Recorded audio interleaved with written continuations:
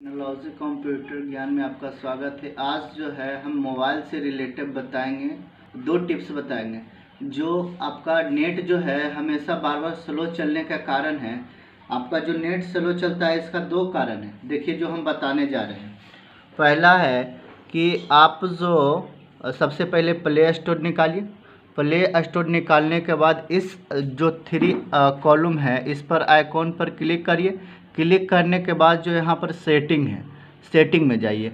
Setting में जाने के बाद यहाँ auto up to date apps है। तो auto up to date apps जो है इसको don't up don't auto up to dates कर देना है। डोंट ठीक है? इस पर नहीं। डोंट पर कर देने के बाद आपका जो है नेट एकदम फास्ट चलेगा। डायरेक्ट जो है ऐप्स जो है आ, हमेशा बार बार अप टू डेट नहीं होगा।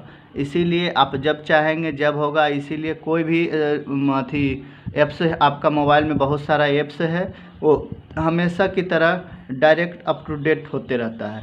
दूसरा कारण है कि जब भी आप मोबाइल नेट का काम हो, ख़त्म हो जाता है तो आप जो है नेट हमेशा बंद कर दीजिए, इससे भी आपका एमबी बचेगा और नेट जो है फास्ट चलेगा।